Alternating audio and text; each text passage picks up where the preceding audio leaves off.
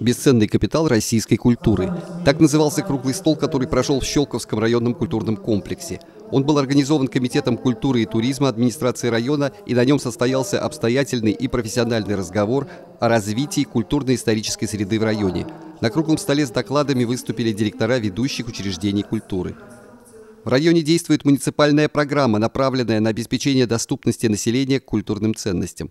К 2019 году поставлена задача существенно увеличить посещаемость музейных учреждений, поднять количество выставочных проектов, на треть расширить долю представленных зрителю музейных предметов основных фондов, поднять уровень фактической обеспеченности населения услугами библиотек – в своем докладе председатель Комитета культуры и туризма администрации района Наталья Чуйченко сообщила, сколько творческих коллективов в районе имеют звание народного и образцового.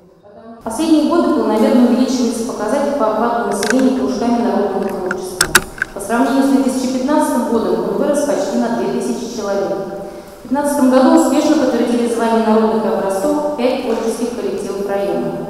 В 2016 году звание народное присвоено еще одному коллективу. Таким образом, на сегодняшний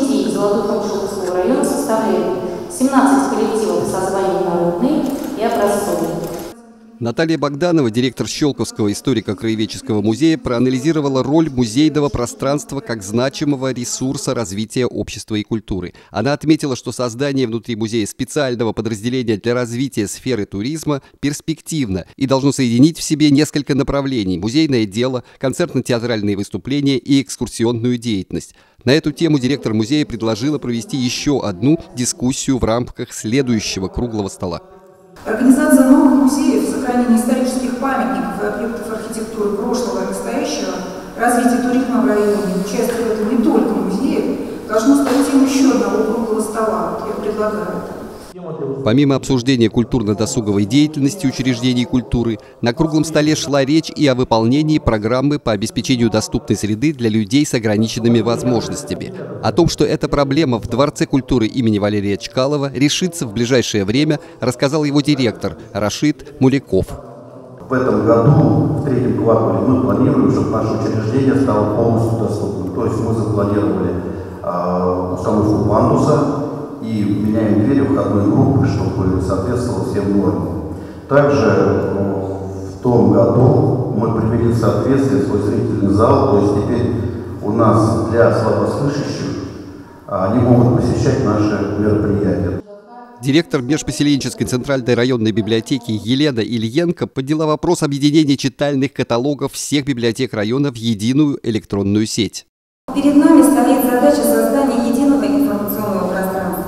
для этого нужно создавать общий каталог всех библиотек района.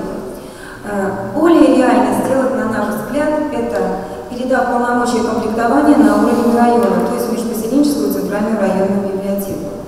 На круглый стол был приглашен депутат Московской областной думы Владимир Шапкин. Он отметил, что для жителей очень важно, чтобы учреждения культуры находились в шаговой доступности от их места проживания. Рядом возможность шаговой доступности иметь культурно-досуговый центр э, и, или отдых. Вот картина, которая сегодня э, главный запрос к власти. Участники круглого стола подготовили и приняли резолюцию, в которой ставятся задачи культурного строительства в районе и формулируются пути их решения. В ней в том числе работники культуры высказывают поддержку созданию туристического кластера, важной составляющей развития въездного и внутреннего туризма в нашем районе. Андрей Цехадович, Сергей Максимов, телерадиокомпания «Щелково».